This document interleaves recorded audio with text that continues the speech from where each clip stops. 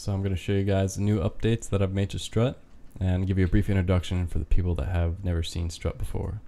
So Strut is a presentation editor to create uh, Impress.js presentations.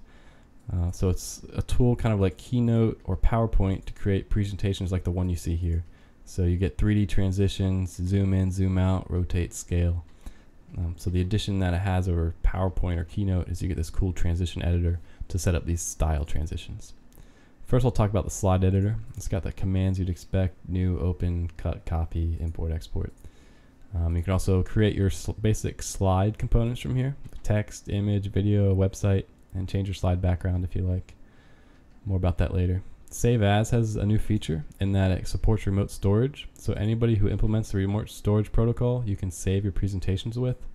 You can go to remotestorage.io to learn more about that. You could also save in local storage or export your presentation to JSON um, and save it in version control or whatnot, and then import it later. So let's go ahead and make a presentation. Uh, we can insert an image here, as always, with a URL, or you can browse to the image on your local file system. You can um, center your components now with those controls, scale, rotate, and skew, as always. You can also undo these uh, from the menu or the shortcut Control Z, Command Z. You can also copy and paste, Control Z, Control V, and undo those as well. So we can add slides and we can sort the slides. And some new changes in text is that when you scale it, it actually changes the font size. So your fonts uh, stay crisp. And when you move text, if you just move it, or when you move any component, if you just move it, it's a freeform move. If you hold down shift and move it, it snaps to grid lines. So you can get a precise layout while you hold shift and move. And shift and rotate, as you saw there, is a 15 degree rotation, whereas regular rotate is freeform. And you see scaling there changes the font size, so your font stays crisp. The color picker remembers your last, uh, well, the last colors you've used. So it's easy to keep your presentation uh, with the same theme since it remembers the, the uh, colors you just used.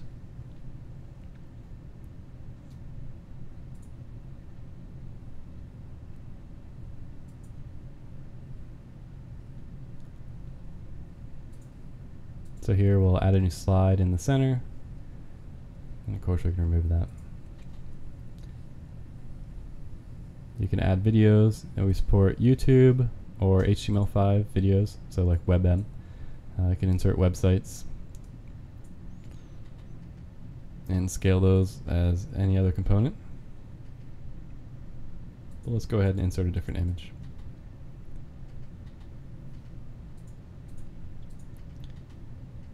A regular scale will preserve the aspect ratio. Shift and scale will let you change the aspect ratio. Center it up. And then we'll go to the uh, transition editor. I'll first show you the backgrounds. You can preview your backgrounds as you hover over them. Those will make more sense after I show you the surface backgrounds on the uh, overview editor. So this is what would be most unfamiliar. This is where you can lay out your transitions between slides. Right now, we just have a basic layout, kind of a linear set of transitions, um, like you would expect in PowerPoint or something. So here we just slide over in the same order, same way that we saw in the transition editor. Uh, one cool feature is hitting escape brings you to the overview mode uh, where you can click any slide you want to go to and quickly jumps to that slide. So here we'll lay out the slides in a new relationship so they go up as kind of like a staircase and now our transitions move up diagonally. You could rotate in X, Y, and Z directions for more complicated transitions as you saw in that presentation at the very beginning. You can also scale different slides, to give a zoom effect or give it actual Z height uh, to give you a zoom in, zoom out effect.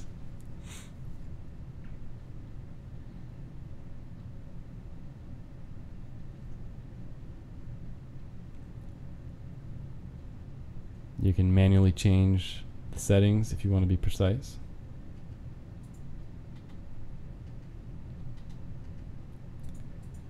And again, shift and drag snaps the grid lines.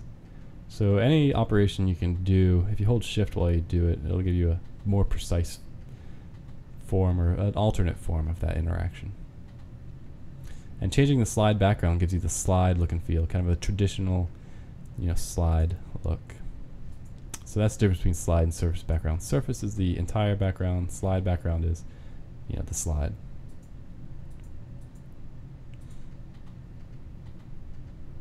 So let's just put in some funky transitions so you can kind of see the possibilities with Strut. It takes some experimenting, but after you've experimented and used it a bit, you know, you, you understand what you can do and create all sorts of cool transitions and presentations. And we're also looking for designers to help work on uh, Strut and sample presentations. Take the background out, so we just have our surface background, and there you go. Thanks for watching, guys.